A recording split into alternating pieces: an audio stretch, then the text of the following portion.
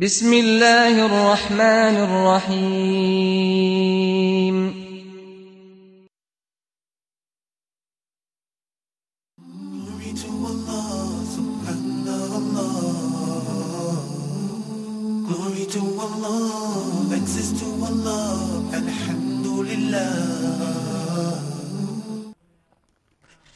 السلام عليكم ورحمة الله وبركاته. الحمد لله رب العالمين ওসলাত ওসালাম আলা সঈদুল মুরসলিন ওয়ালা আলহি ও আসহাবিহি ওবারক ওসলিম সুবহানকালা ইলমালানা ইল্লামা আল্লামতানা ইন্নাকা আন্তল আলিমুল হাকিম সম্মানিত ইকরাম দর্শক শ্রোতা আলহুদ্দিশারি প্রোগ্রামে আপনাদেরকে আন্তরিক মুবারকবাদ। আলহামদুলিল্লাহ, আমাদের সাথে রয়েছেন ব্রিটেনের শ্রদ্ধাবাদন আলিমুদ্দিন, মিনর পার্ক শাহজালাল মসজিদের সম্মানিত মেয়র পার্ক শাহজালাল মসজিদের সম্মানিত খতিব এবং ফোর্সকেয়ার ইসলামিক স্কুল মাদ্রাসার সম্মানিত শেখুল হাদিস মুফতি শেখ আব্দুর রহমান দাম্মাত বারকাতুম আসসালামু আলাইকুম রহমতুল্লাহ ওয়ালাইকুম আল্লাহ আসসালাম আসিন নজর। আলহামদুলিল্লাহ আলহামদুলিল্লাহ আজকে আমরা উম, পবিত্র কোরআন শরীফের আদব ও নিয়মাবলী বিষয়ের উপর ইনশাল্লাহ আলোচনা শুনবো এরপরে ইনশাল্লাহ আমরা দর্শকদের বিভিন্ন প্রশ্নের উত্তর নেওয়ার চেষ্টা করবো ইনশাল্লাহ الحمد لله وكفى وسلام على عباده الذين اصطفى أما بعد فأعوذ بالله من الشيطان الرجيم بسم الله الرحمن الرحيم ألف لام ميم ذلك الكتاب لا ريب فيه هدى للمتقين بارك الله لنا ولكم بالقرآن العظيم ونفعنا وإياكم بما فيه من الآيات والذكر الحكيم সম্মানিত ইকরা বাংলার দর্শক শ্রোতা ভাই এবং বোনেরা আজকেও আমাদের আলোচ্য বিষয় কোরআন প্র- কোরআনে করিম প্রসঙ্গ কোরআনে করিম আল্লাহর কালাম, আল্লাহর জাতের সাথে সম্পর্কিত। দীর্ঘ তেইশ বৎসরে নবী করিম সাল্লাহ ইসলামের কাছে অত্যন্ত সংরক্ষিতভাবে জিবিলা ইসলাতামের মাধ্যমে অবতীর্ণ হয়েছিল। এবং নবী করিম সাল্লাহ সাল্লামকে দায়িত্ব দেওয়া হয়েছিল তুবাইন আলিন্নাস মানুজিল ইলাইহিম। যা অবতীর্ণ করা হয়েছে সেটা যেন নবী করিম সাল্লাহ ইসলাম ভালোভাবে তফসির করে ব্যাখ্যা দিয়ে উম্মতকে যেন নবী করিম সাল্লাহ ইসলাম বুঝাইয়া যান। নবী ইসলাম সেই দায়িত্ব আদায় করেছেন। ইভেন প্রথম শুরুতে কোরআন নাদিল হওয়ার সময় নবী করিম সাল্লাহ সাল্লাম বারবার চেষ্টা করতেন জিবুল ইসলামের কাছ থেকে শুনে এটা মুখস্থ করার, অর্থ বুঝার এবং কীভাবে মতের সামনে আবার পড়ে শোনাবেন সব কিছু দায়িত্ব একসঙ্গে আদায় করতে হতো। অনেক কষ্ট হতো। আল্লাহ সুবাহন তালা কোরআন নাদিল করে আল্লাহ নবীকে সেই কষ্ট থেকে বারণ করতে গিয়ে বললেন, লা বিহি লিসান কালি তাজালাবি ইন্না আলাইনা জামাহু ওয়া কোরআনা, ফাইজা কোরআনাহু ফাত্তাবি কোরআনা। নবীজি আপনি কোরআন নাদিলের সময় যেভাবে কষ্ট করে এটাকে স্মরণ রাখার জন্য সরি আপনি যে কষ্ট করতেছেন সেটা আপনাকে করতে হবে না। জিবিল কোরআনের আয়াত বলে যাওয়ার পরে এটা মুখস্থ করানো এবং অর্থ বোঝানোর দায়িত্ব আমি আল্লাহ পাকের। আপনার কলবের মধ্যে, সিনার মধ্যে আমি সেটা জমা করে দেব। আপনার শুধু কাজ হলো শুধুমাত্র আপনি কান ধরে আপনি শুনবেন, বাস, এতটুকু। তো নবী করিম সাল্লাহ ইসলামকে আল্লাহ সুবাহ তালা কোরআন শরীফের কোন আয়তের মিনিটা দিলের মধ্যে ডেলে দিয়েছিলেন এবং সেটাই নবী একরম ইসলাম আমাদেরকে শিক্ষা শিক্ষা দিয়ে গেছেন। সাহাবায় কারাম নবী একরমের কাছ থেকে সেই তাফসির শিখেছেন। অনেক সময় নিজের মাতৃভাষা আরবি হওয়া সত্ত্বেও অনেক সাহাবায় কারাম নিজের সেলফে কোরআন বুঝতে গিয়ে মিসআন্ডারস্ট্যান্ডিং হয়েছে, ভুল বুঝার শিকার হয়েছে যেমন কোরআন শরীফে একটি আয়াত, কুলু ওয়া শরাবু হাত্তা ইয়াতাবাইয়ান লাকুমুল খাইতুল আবিয়াজু মিনাল খাইতিল আসওয়াদ মিনাল ফজর। এই আয়াত যখন নাজিল হলো, তখন একজন সাহাবি, উনি এই আয়াতের অর্থ হলো, তোমরা সেহরির টাইমে তোমরা খেতে পারো, যতক্ষণ পর্যন্ত ইয়াতাবাইয়ান লাকুমুল খাইতুল আবিয়াজু মিনাল খাইতিল আসওয়াদ মিনাল ফজর। কালো তাগাস এবং সাদা তাগা সুতা, কালো সুতা এবং সাদা সুতা যে সময় একটা আটটা থেকে পৃথক করে চিনা যায় না, এর আগ পর্যন্ত তোমরা খেতে পারবে। এই আয়াতের লিটল মিনিং এবং শাব্দিক অর্থের দিকে লক্ষ্য করে জনৈক সাহাবি উনি উনার পায়ের মধ্যে সুতা বেঁধে রাখতেন। কোনো সময় বালিশের নিচে দুইটা সুতা রাখতেন, এক, একটা সুতা রাখতেন কালো রঙের আর একটা রাখতেন সাদা রঙের। যতক্ষণ পর্যন্ত কোন সুতাটি কালো আর কোন সুতাটি সাদা পরিচয় করা যাচ্ছে না। এর আগ পর্যন্ত মনে করতেন যে আমাদের সেহরি খেলে আমরা সেহরি খেতে পারব। নবী করিম সাল্লাহ ইসলাম যখন শুনলেন, তখন আশ্চর্য হয়ে বললেন, আল্লাহ সুবাহতাল্লাহ এখানে এই মিনিং করেন নাই। বরং সেখানে সুবে সাদেক ফজরের টাইম শুরু হওয়ার সময় পূর্ব আকাশে যে একটু ফর্সা হওয়া শুরু হয়, আলোকিত হওয়া শুরু হয়, সেই আলোকে মিন করেছেন। রসুলম তাকে কারেকশন করে দিলেন। সেজন্য কোরআনে করিম তিলাওয়াতের পাশাপাশি তার অর্থ বোঝা আমাদের অবশ্যই অত্যন্ত বড় দায়িত্ব। কিন্তু এখানে একটি বিষয় বোঝার আমাদেরকে বুঝতে হবে। অর্থ না বুঝেও যদি আমরা তিলাওয়াত করি, প্রশ্ন হলো তাহলে সব পাওয়া যাবে কি যাবে না? অর্থ না বুঝে কোরআন শরীফ যদি কেউ মুখস্থ করেন, সেটা কি তার কোনো ফজিলত আদৌ আছে নাকি নাই?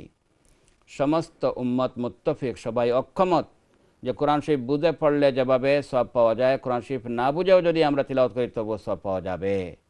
নাম্বার টু, যদি একটা বাচ্চা কোরআন না বুঝেও সে মুখস্থ করে, সেটা অত্যন্ত ফজিলতের কাজ এবং অত্যন্ত গুরুত্বপূর্ণ একটি কাজ।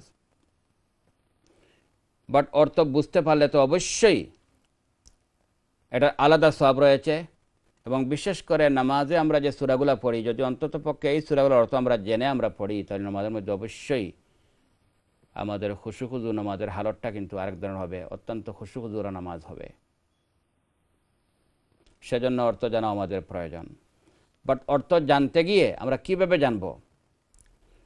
কোরআন শরীফের অর্থ বুঝতে এবং তাফসির করতে গিয়ে আল্লামা নবী রহমতুল্লাহ আলাইহি উনার একটি কিতাব আত্মিবিয়ানের মধ্যে উনি উল্লেখ করেছেন, ওয়াইয়াহরমু তফসিরহু বিগায়ের ইলমিন। প্রায় সব ওলামা একরাম সমস্ত ওলামা একরামের ইজমা এবং সহি হাদিস দ্বারা কথা প্রমাণিত কোরআনের সঠিক নলেজ একজন তাফসির করতে গিয়ে যে সমস্ত নলেজের প্রয়োজন, এই নলেজ ছাড়া যদি কেহ, এই জ্ঞান ছাড়া যদি কেউ কোরআন শরীফে তাফসির করেন, সঠিক করলেও সেটা রং হবে, ভুল হবে। নবী করিম সাল্লাহ ইসলাম বলেছেন মানফাসার আল কোরআন বেরইহি ফাসাব ফকাদ আখতা যদি কেহ কোরআন তার নিজের আকল দিয়ে কোরআনের ব্যাখ্যা করে দেয় ইভেন সেটা সঠিক হলেও আল্লাহ বলতেন সেটা ভুল হবে।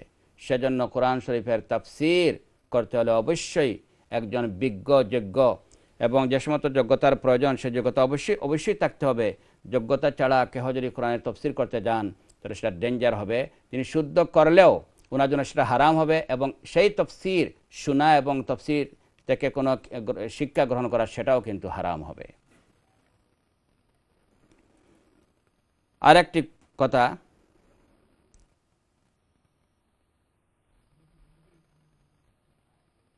কোরআনে করিমের ক্ষেত্রে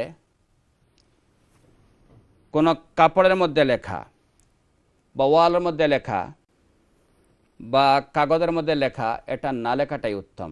অনেক সময় কিন্তু আমরা কাপড়ের মধ্যে লেখা আমরা ওয়ালের মধ্যে রাখি, কিন্তু সেটা আসলেও কিন্তু আমরা কোরআন শরীফের যেভাবে ইজ্জত করা সেই ইজ্জত কিন্তু আমরা করতে পারি না। দুলাবল লেগে যায়, তারপরে অনেক সময় আনা অজু অজু ছাড়াও আমরা আমরা এটাকে টাচ করে ফেলি। সেজন্য ওলামা একরাম বলতেছেন, এইভাবে ওয়ালের উপর অথবা কাপড়ের উপর অথবা পেপারের মধ্যে এইভাবে কোরআন শরীফ লেখা যেটা আমরা প্রচলন রয়েছে, এটা কিন্তু আসলেও খুব ভালো কাজ নয়। শুধুমাত্র বলতেছেন আল্লাহ রহমতুল্লাহ কিতাবাতিল কোরআন ফি কিবলাতিল মসজিদ। মসজিদের কিবলায়, কিবলার ওয়ালে, সেখানে যদি কোরআন শরীফের আয়াত লেখা হয়, কোনো সমস্যা নেই। আপনারা হয়তো দেখেছেন, মসজিদ নবীর ওয়ালের মধ্যেও কোরআন শরীফের আয়াত লেখা আছে, সেটা ভিন্ন কথা। কিন্তু আমাদের প্রত্যেকে গড়ের ওয়ালের মধ্যে, হয়তো কাপড়ের মধ্যে আমরা হয়তো কিছু লিখলাম, অনেক সময় সুরাই ইয়াসিন লেখে আপনা, আমরা এই কাপড়ের, কাপড়টা আমরা ঠানিয়ে রাখি। এটাও কিন্তু প্রকৃতপক্ষে এটা কিন্তু কোরআনের প্রতি ইজ্জত হচ্ছে না। ওমান ইউআজিম শাহির আল্লাহ ফাইনামিন তাকওয়াল কুলুবের পরিপন্থী। আমরা কোরআনকে অবশ্যই রেসপেক্ট এবং সম্মান করব। বিশেষ করে একটি বিষয় এখানে বলে রাখা অত্যন্ত জরুরি মনে করতেছি। আপনারা তো দেখেছেন, কোনো লোক মারা গেলে লাশ বহন করার সময় একটা চাদর দিয়ে এই লাশকে কাবার করা হয়। আপনারা তো দেখেছেন, এই কাপড়টা সবুজ কালারের হয় এবং সেখানে সোনালি কালার দিয়ে লেখা থাকে আয়াতুল কুরসি। এবং আমরা অনেকেই মনে করি যে এই কাপড় দিয়ে এই লাশকে ঢাকলে অত্যন্ত সব হচ্ছে, কিন্তু প্রকৃতপক্ষে এটা কিন্তু মারাত্মক একটা বেয়াদবি হচ্ছে। কারণ এই যে কাপড়ে লেখা আয়াতুল কুরসি অত্যন্ত গুরুত্বপূর্ণ ক্রণশিবের একটি আয়াত, আমি সেটা অজু ছাড়া আমরা সবাই সই। তারপরে আপনারা তো দেখেছেন, কবরে লাশটা রাখার সময় কাপড়টা কিন্তু অনেক সময় এভাবে দলামশা করে রাস্তা, ফেকের মধ্যে ফেলানো হয়। তারপরে অনেক মানে যেখানে সেখানে সেটাকে ফেলে দেওয়া হয়। এটা কিন্তু কোরআনের প্রতি এটা ডিসরেসপেক্ট এবং অসম্মান প্রদর্শন করা হয়, সেটা কোনো অবস্থায় জায়জ নয়। সেজন্য অবশ্যই আমরা যাদের কবরে আমাদের মুর্দাকে নিয়ে যাব, আমরা অন্ততপক্ষে এই ইয়াসিন লেখা যে কাপড়, এই কাপড়টা মোটেই আমরা ব্যবহার করব না। আমরা হয়তো মনে করতে পারি এটা সৌদি আরব গেলে অনেক সময় হজে বা উমরাতে গেলে অনেক ভাই পয়সা দিয়ে কিনে নিয়ে আসেন। কিন্তু প্রকান্তরে কিন্তু এটা সৌদি আরব বনে না, এটা বনে কিন্তু অন্যান্য দেশে নন মুসলিম দেশে বনে। ওরা বানাইছে বিজনেসের জন্য। এবং আপনারা যারা হজে বা উমরাতে গিয়েছেন, আমি তো মনে করি আপনারা দেখেছেন, সেখানে কিন্তু কোনো লাশের জানাজার জন্য যে লাশ সামনে আনা হয়, কোনো লাশকে কিন্তু এইভাবে কোনো কোরআন শিবের আয়াত বা আয়াতুল কুরসির লেখা কোনো কাপড় দিয়ে তাদেরকে কাবার করে নিয়ে আসা হয় না। বরং নর্মাল সাদা কাপড় দিয়ে কাবার করে নেওয়া হয়। এজন্য এটা খুব ভালোভাবে মনে রাখবেন, আল্লাহকে বাস্তে যেন আমরা আমরা কোরআন শরীফের আয়াতুল কুরসি লেখা এই কাপড় যেন আমাদের কোনো মুর্দাকে যেন আমরা কাবার করতে না দেই, কেউ যেন কাবার না করে, আল্লাহ পাক আমাদেরকে সেই শ্রম দান করুন, আমিন। কোরআনে করিমকে নিজের রুকাইয়া হিসাবে পড়া জায়জ আছে কিনা আছে না, তো ইব্রাহিম নখই এবং হাসান বসরি ওনারা মকরু মনে করলেও নির্ভরযোগ্য বলতেছেন, ওয়াল মুখতারু আন্নাজা আলী কালা হিসাবে মকরুহিন বাল সুন্নাতুন মুস্তাহাবাতুন আল্লামা নবীর হতে বলেন যে এটা কিন্তু মকরু নয়, বরং মুস্তাহাব। কারণ আয়সা রাদি আল্লাহ তালাহ থেকে বর্ণিত নবী করিম সাল আলাইহি ওয়াসাল্লাম বেডে গেলে প্রতিদিন সুরায় কুলহু আল্লাহ আহাদ, কুল আউদ রবিল ফালাক এবং সুরাতুন্নাস রবিন নাস এই তিনও সুরা পড়ে হাতের মধ্যে ফু দিয়ে এইভাবে মাথা থেকে সামন দিকে মাসা করতেন এইভাবে তিনবার করতেন নবী করিম সাল্লাহ আলহি আসাল্লাম তো রসুল এখন রুকে হিসাবে পড়েছেন, আমরাও পড়ব। এবং আরেকটি আদিস এসেছে ফালাম্মা ইশতাকা কানা ইয়ামুরুনিয়ান আফালা আলিকা বিহি। নবী করিম সাম যখন অসুস্থ হলেন, তখন আমাকে বলতেন আয়সা তুমি এই সুরাগুলা পড়ে তুমি আমা, আমার বডির মধ্যে বা ফু দাও। অন্য রাতে এসেছে, কান নবী সাল্লাম ইয়ানফুস আলা নফসিহি ফি মরদিল্লা জিমা তফি বিল মুআবিজাত এই সমস্ত মুআবিজাত দিয়ে নবী করিম সাল্লাহ ইসলাম অসুস্থ অবস্থায় নিজের বডিতে ফু দিতেন। হজরত আয়সান বলেন, ফলাম্মা সাকুলা কুংতু আনফিসু আলাইহি বিহিন্না ও আমসাহু বেয়াদে নফসিহি লে বরকতিহা নবী করিম যখন অসুস্থ হলেন, তখন আমি তিলত করে আল্লাহ নবীর হাতে এভাবে ফু দিয়ে ওনার হাত দিয়ে ওনার বডিটাকে এভাবে আমি মাসা করে দিতাম বরকতের জন্য। সেজন্য এই সমস্ত জিনিসকে রোকাইয়া হিসাবে ইউজ করা অবশ্যই জায়জ আছে। কোন টাইমে কোন আয়াত, কোন সুরা পড়া ভালো, এটা অত্যন্ত বিরাট একটি কথা। যেটা অতীতে আমি সংক্ষিপ্ত আলোচনা করেছি, এরপরেও কোরআন শরীফ সবসময় তিলাওয়াত করা প্রত্যেক নামাজের পরে, ফজরের পরে, শেষ রাতিতে, বিশেষ করে রমজান শরীফে কোরআন শরীফ তিলাওয়াত করা খুবই গুরুত্বপূর্ণ এবং আমি বলেছিলাম যে প্রত্যেক শুক্রবারে ফজরের নামাজে নবী করিম সাল ইসলাম তিলাওয়াত করতেন আলিফলাম মিং তনজিল, পুরা সুরা এবং দ্বিতীয় কাছে পড়তেন হাল আতাল আল ইনসানি, সুরায় দহর। এইভাবে নবী করিম সাল্লাহ আলহি আসাল্লাম জুম্মার নামাজে বেশিরভাগ পড়তেন সুরায়ে জুমা এবং মুনাফিকুন এবং কোনো কোনো সময় পড়তেন সাব্বিহ ইসমা রব্বিকাল আলা এবং সুরাতুল গাশিয়া। কোনো কোনো সময় নবী সুরায় কাফও পড়েছেন। ঈদের নামাজে নবী এখন ইসলাম অধিকাংশ সময়ে প্রথম রাখাতে সাব্বিহ ইসমা রব্বিকাল আলা এবং দ্বিতীয় রাখাতে হালাতাতুল গাশিয়া পড়তেন এবং সমান দিন ঈদের দিন যদি জুম্মার নামাজও হয়, তো সমান জুম্মার নামাজে সেম সুরাগুলো আবারও রিপিট করতেন।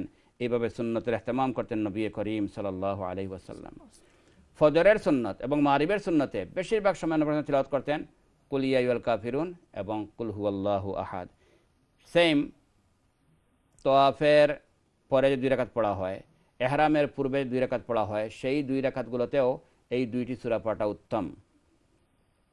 নবী করিম সাল আলহি ওসাল্লাম বিতির নামাজের প্রথম রাখাতে পড়তেন ছাব্বিশ রব্বিকাল আল্লাহ দ্বিতীয় রাখাতে কুল লিয়া ইউহাল কাফির এবং তৃতীয় রাখাতে কুল আল্লাহ হাত পড়তেন। এইভাবে প্রতি শুক্রবারে সুরায় কহব তিলাওয়াতের ফজিলত অত্যন্ত গুরুত্বপূর্ণ এসেছে। আজা আলাহু মিনান নূর ফিমা বাইনাহু ওয়া বাইনাল, যে পুরা এক সপ্তাহ পর্যন্ত আল্লাহ ওয়া তাআলা তার নূর দ্বারা আলোকিত করেন, সুরায় কাহাব তিলাওয়াত করলে। তো এটা দিনেও পড়া উত্তম। তবে আল ইমাম শাফির মতে বলতেছেন ওয়াইয়াস্তাহিবু আন ইয়াকরা আয়াদান লাইলাতাল জুমা যেভাবে জুম্মার দিনে পড়া ভালো, ঠিক তেমনিভাবে জুম্মার রাত্রেও পড়া যেতে পারে। তো বর্ণনা লেখক বলেছেন, হাদিসে যেহেতু এসছে দিনের কথা, দিনে পড়াটাই বেশি উত্তম হবে। হ্যাঁ দিনে পড়ে যদি রাত্রেও পড়তে চান, পড়তে পারবেন। এবং সুরায় আয়াতুল কুরসি যেন আমরা খুব বেশি বেশি তিলাওয়াত করি, বিশেষ করে আমরা যখন বেড়ে যাব, তখন আয়াতুল কুরসি পড়ব। কুলিয়ায়ুল কাফিরুন পড়ব, কুল আল্লাহ পড়ব রবিল ফালাক পড়ব, নাচ পড়ব, তারপরে সুরায় বকরার আখেরি আয়াত যেগুলো আছে, আমান রসুল থেকে সেটাও পড়ব। নবীজি বলতেছেন, যদি কেহ এই আয়াতগুলো পড়ে, তার জান, মাল গড়ের হেফাজত হয় এবং এই দুইটি আয়াত তিলাওয়াত করলে তার জন্য কাফাতাহু বখারি শিবের হাদিস যথেষ্ট হয়ে যাবে। যদি সে কেয়ামুল্লাইল নাও করে, তার সব পাবে এবং শয়তান এবং সব ধরনের ক্ষতি থেকে হেফাজতের জন্য এই দুইটি আয়াত যথেষ্ট হবে। আল্লাহ সুবান এই কথাগুলোর উপর আমাদের প্রত্যেককে আমল করার তফিকতা করুন। আমি জাজাকুমুল হাসান জাদা জাজাকাল্লাহ সম্মানিত করে বাংলার দর্শক শ্রোতা আলহামদুলিল্লাহ অত্যন্ত গুরুত্বপূর্ণ আলোচনা শুনতেছিলাম। আমি মনে আপনারা হয়তো অনেকেই অপেক্ষা আছেন বিভিন্ন প্রশ্ন করার জন্য। আমরা দেখি এই মুহূর্তে আমাদের সাথে কে রয়েছেন। হ্যালো কলার সালাম আলাইকুম। হ্যালো কলার সালাম আলাইকুম। জাজাকাল্লাহ দেখি আমরা পরবর্তী কলকে রয়েছেন। হ্যালো কলার সালাম আলাইকুম। আসসালামু আলাইকুম। ওয়ালাইকুম সালাম রহমতুল্লাহ। হুজুর আমার দুই তিনটা প্রশ্ন। জি বলুন আপনার প্রশ্ন। হুজুর এটা অনেক হইয়া যাইরা মানে ওয়ালোর মাঝে মানে কিতা আরবি লেখা আয়াতুল কুরসি এটা তো না তো দরজার মাঝে যদি আয়াতুল কুরসি অথবা সুরাতুল ইখলাস থাকে কাগজ লেখিয়া কি আমি নিজে তো দরাইতাম না হরে একটা কিতা যাইতাছে ঠিক আছে। আচ্ছা আর কোনো প্রশ্ন আছে? আর একটা প্রশ্ন হইল কি গেছে কালকে প্রোগ্রামে শুনছিলাম মানে ফরজ নামাজ ফজর লম্বা সুরা দি নামাজ পড়েন আমি নর্মালি আমি লম্বা সুরা ততটা জানি না হুজুর। তে আলাম তারা লীলা দিয়ে দি পয়লা সুন্নত পড়ি আসুরাতুল মাউন আসুরাতুল কাউসার দি ফরজ নামাজ পড়ি। তো এই নামাজ ওই গনি হুজুর। জানতাম চাইরাম আচ্ছা ঠিক আছে ইনশাআল্লাহ আর একটা প্রশ্ন করতাম পারি না হুজুর। জি বলুন। যদি সাড়ে সাত বড়ি উপরে শূন্য থাকে তখন যদি সাড়ে সাড়ে সাত বড়ির নিচে শূন্য রাখি আর যদি- যে একবারা বলেন যদি থাকে এগুলা যদি সরাইলে একই গেছে রামাদান আর কি জাকাত যদি দিয়া থাকি আর একটা তো সময় আর নাইনি যদি এখন আমি সুরনাইত না সরাইলাইতে পুরা সুরনার জায়গা দেওয়া লাগবে এখন ওজন করাইয়া ওইটা আমাক কান্ট করিয়া কি না হইলে না সাড়ে সাত করে নিচে যেখানে ঘনাই দিতাম। যদি সরাইলে আর কি? সরাইলেন কিতা বলতে মানে- সরাইলেন বলতে কিতাব বুঝিত হইরা আপনি?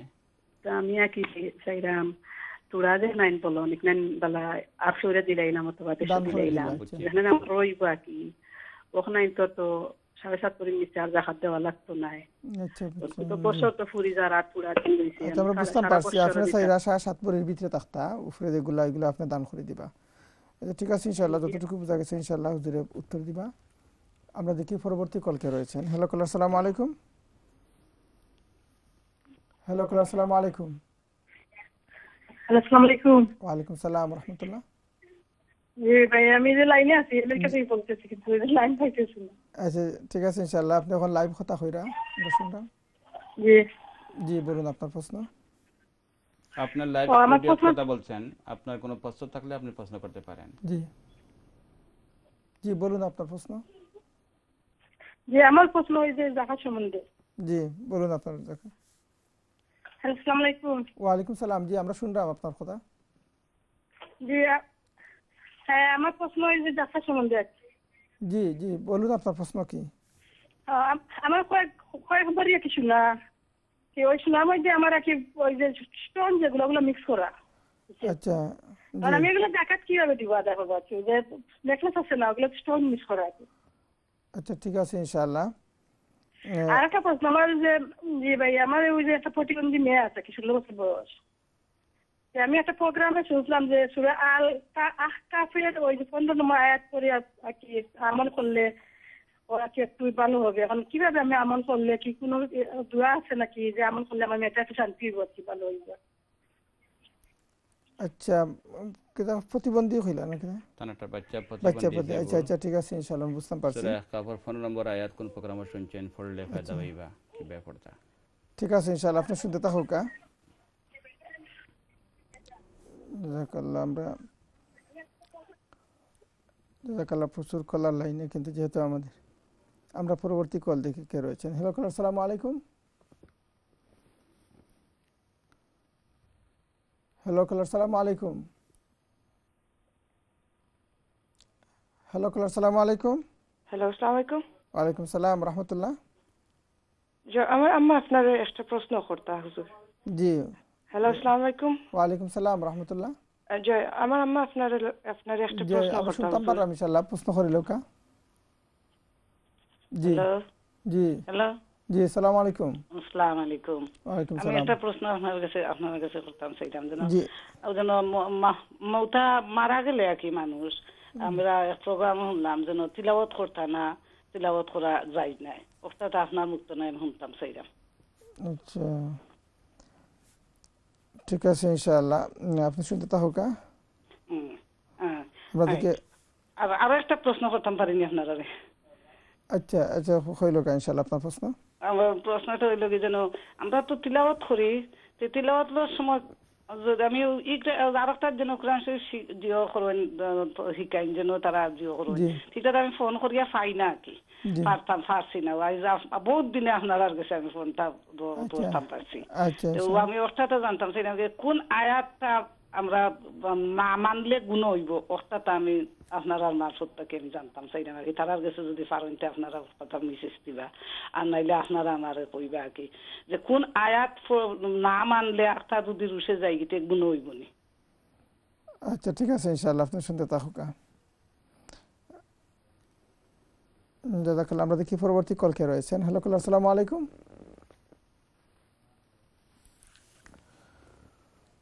আমরা উত্তরের দিকে চলে যাই। প্রচুর কলার লাইনে যেহেতু তারপরে ইনশাল্লাহ আমরা উত্তরের দিকে চলে যাই। ইনশাল্লাহ এরপরে আমরা কল নেওয়ার চেষ্টা করব।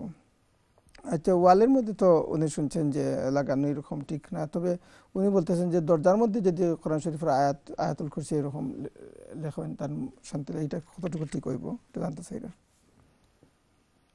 যেহেতু কোরআন শরীফ অবশ্যই আমরা সম্মান এবং রেসপেক্ট করতে হবে।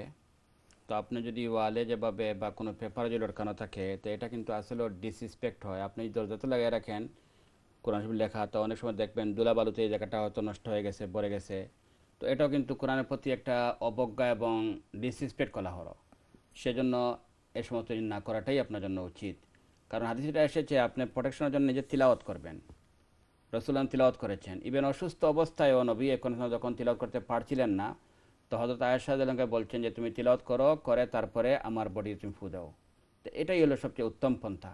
এগুলা এগুলা থেকে আমরা মানে আপনি যেভাবে বলতেছেন তো রাখা এগুলা না রাখাটাই আপনার জন্য আপনার জন্য উচিত। জাজাকুমুল্লাহ জাজাকাল্লাহ আরেকটা প্রশ্ন করেছেন উনি যে ফজরের নামাজে উনি সাধারণত লম্বা সুরা না জানার কারণে ছোট ছোট চূড়া দিয়ে পড়ে কোনো সমস্যা নেই। না? জানার কারণে আপনি যেটা বলেছেন লম্বা সুরা জানেন না এটা তো এই তোয়াল মুসল পড়াটা লোক একটা সুন্নত সুন্নত মুস্তাহাব্বা।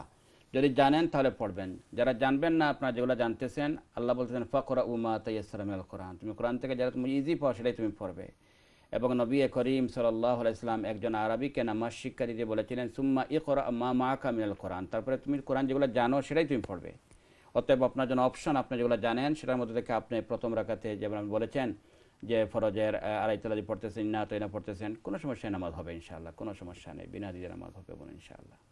জাজাকাল্লাহ। আরেকজন বোন জানতে চেয়েছেন ওনার হয়তো সাড়ে সাত ভরির ঊর্ধ্বে স্বর্ণ আছে কিন্তু বৎসর পূর্ণ আর আগে যদি উনি সাড়ে সাত ভরির ভিতরে চলে আসেন বা অন্য এক্সট্রাগুলো দান করে দেন তাহলে ওনার জাকাত ইনশাআল্লাহ জাকাত আর লাগবে না। আপনি যেহেতু সাড়ে সাত পড়ি নেশাবের নিচে যখন থাকবে তখন আপনার বছর পুরো জাকাত যেদিন ডিউ হবে সেদিন যদি আপনার সাড়ে সাত পড়ির নিচে হয় আপনাকে এটা জাকাত দিতে হবে না। তো আপনি যা বলতেছেন যে আপনি এটা হয়তো কাউকে দান করে দেবেন তো ইনশাল্লাহ আপনি দান করে দেন। যদি তাহলে আপনার আর এটা জাকাত দিতে হবে না। যেহেতু আপনার মালিকানায় সাড়ে সাত বড়ি বা এর চেয়ে উপরে তখন আর থাকতেছে না। জাজাকুমুল্লাহ। জাজাকাল্লাহ। আরেকজন বোন জানতে চেয়েছেন সোনার মধ্যে যেহেতু স্টোন মিক্স থাকে তখন কীভাবে মানে জাকাত আদায় করবেন? যদি সম্ভব হয় আপনি স্টোন বাদ দিয়ে বাকিগুলো ওজন করে পরিমাণ যদি বার করতে পারেন সেই স্বর্ণের আপনি জাকাত দিবেন। যদি সম্ভব না হয় তাহলে পুরাটাই ওজন করে আপনি যদি দিয়া দেন একটু বেশি সমস্যা নেই। যদি আপনি ওজনটা ক্যালকুলেট করতে পারেন অ্যাকুরেট সোনার স্বর্ণ কতটুকু?